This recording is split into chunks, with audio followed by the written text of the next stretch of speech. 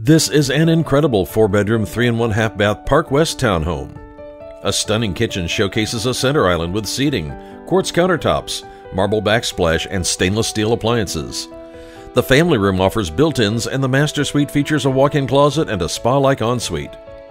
Learn more when you tour with Tamara Campbell.